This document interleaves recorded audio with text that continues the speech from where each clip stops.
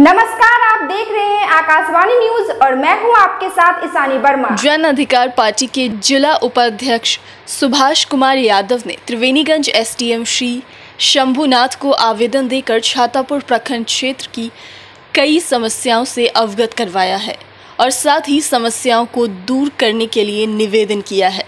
जाप जिला उपाध्यक्ष सुभाष कुमार यादव ने बताया कि प्रखंड क्षेत्र में सड़क की समस्या एवं किसानों की समस्या एसडीएम साहब को अवगत करवाया गया है और समस्या को दूर करने का निवेदन किया गया है।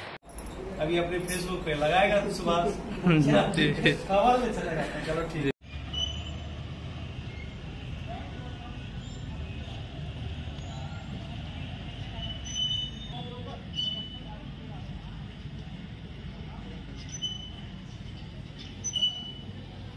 छातापुर में मूलभूत समस्याओं को लेकर, सड़क की समस्या को लेकर एसडीएम सर को ज्ञापन दिए हैं।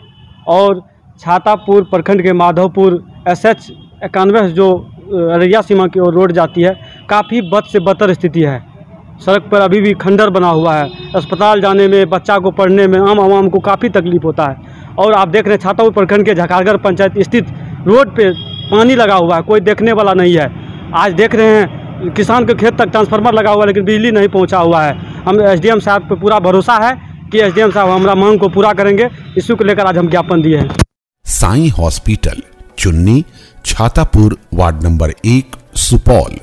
Mobile number seven zero six one five zero nine six four one और seven zero four two eight zero six double seven eight.